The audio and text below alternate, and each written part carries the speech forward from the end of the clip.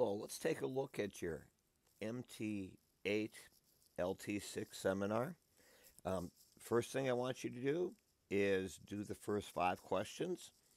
We'll go over those in class, and if you're ahead or behind, get those done just so you can activate your prior knowledge.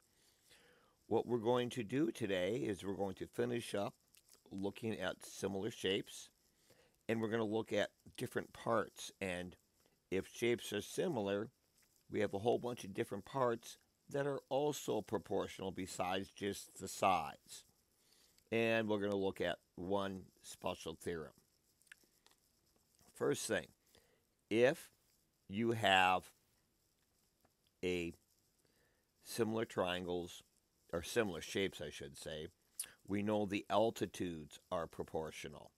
We could have done that yesterday on that deck problem. We also know that the angle bisectors are proportional. Now, the angles themselves aren't proportional. We're talking about the lengths are proportional. And we know the medians are proportional. Pretty much every segment that we can think of is going to be proportional. And then the last one is kind of an interesting one. If I have an angle bisector in a triangle, it's going to split that opposite side into a proportional as the length of the other two sides. So if we take a look here at the theorem, we listed out BP is to CP as BA is to CA. Looking at in color, you can see orange goes to orange as green goes to green. Let's start with our first problem here. I want to find the value of x. And notice these are medians. And our triangles are similar, so I know my medians are proportional. And I could just write, I could find the length here. This would be this would be 24, and this would be 2x.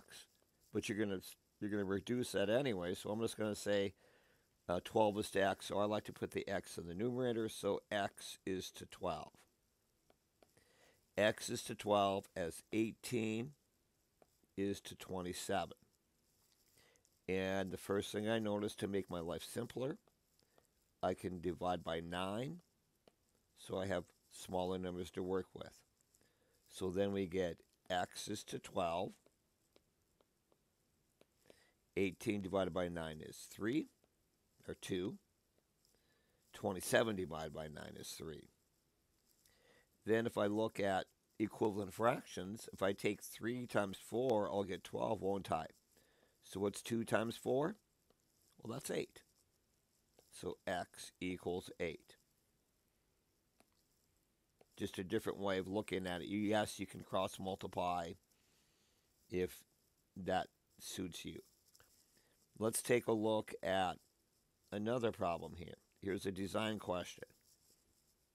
I've got a digital camera projects an image through its lens onto a sensor, where it's converted into a digital image.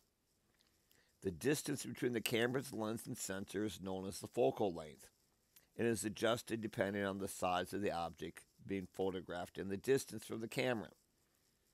Focal length is kind of like your altitude. Not kind of like, it is the altitude. Mrs. Elgin sets up her camera three meters away from her subject, who is 1.6 meters tall. If the sensor in a camera is 4.8 millimeters tall, what's the focal length? So let's draw this out. So what happens is here is our image.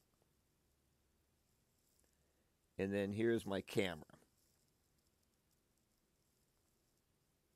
So what happens is my image or the subject is 1.6 meters tall.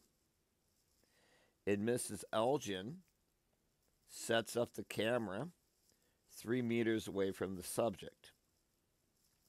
And in our camera, we got 4.8 millimeters. Now, I definitely did not draw this to scale. 4.8 millimeters is pretty small. And I want to find my focal length with this f, which is really the altitude here. So then we're going to say f is to 3. Altitude is to altitude as 4.8 is to 1.6. Remember, my focal length is to be in millimeters. So on this one, um, I got decimals here. I'm just going to multiply both sides by 3. So we're going to take 4.8 times 3 and divide by 1.6. We do that, we'll get 9. So we're going to say the focal length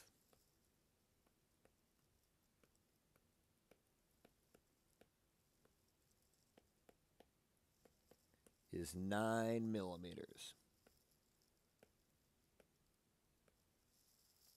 Don't forget your units because that would that's important.